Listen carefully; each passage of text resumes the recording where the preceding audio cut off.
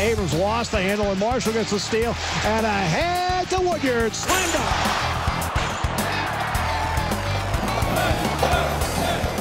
My basketball story is I played since I was four, um, playing uh, a level or two above on each level, and then uh, I got to high school.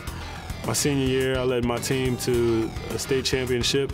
Got here, played all four years, didn't redshirt my freshman year. Going into my senior year, I had a, a, knee surgery, a scope on my left knee.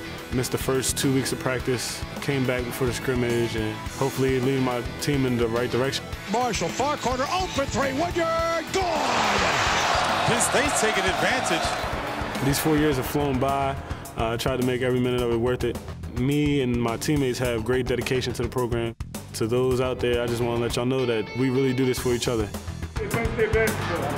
One, two, three,